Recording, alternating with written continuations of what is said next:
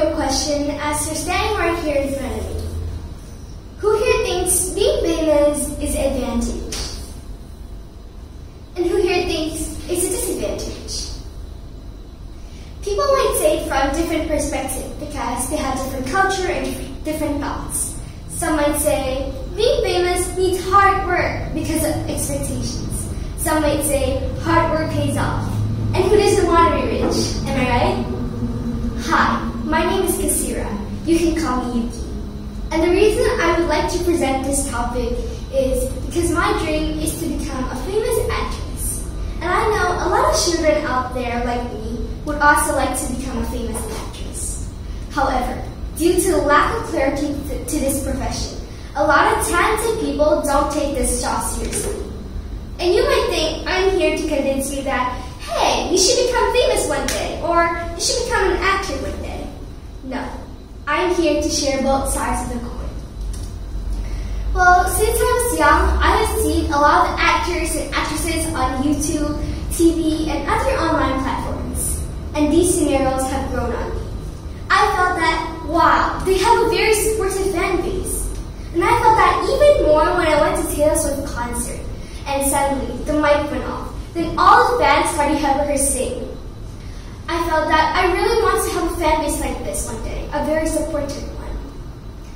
Well, you might think that you're saying just the advantages. No. Well, now let's talk more about the advantages than the disadvantages.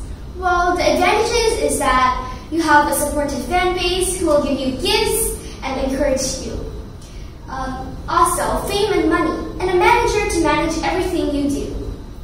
And this may look glamorous and fancy, but there's also disadvantages, which the disadvantages is that you'll attract stalkers and fake, friends because of your fame and money. Well, being an actress isn't that easy. You have to undergo rigorous training such as singing, dancing, and acting, and also stunts. Well, you might say, hey, they're stunt doubles. Not all movies have stunt doubles. Like the movie Mulan, most of the stunts were done by the actor herself. You might be shocked as I am. But she has to practice very hard to get the stunts perfectly and not get hurt while doing the stunts. And furthermore, there are also auditions, which auditions are pressured because the actor find it hard to accept rejections. Well, now that I've read the advantages and disadvantages, I realize one thing, that whichever profession you want to be, or whichever profession in the future, well, there's a mix of both. And if I want to become the best surgeon, I will still have people who will judge and criticize me if I fail.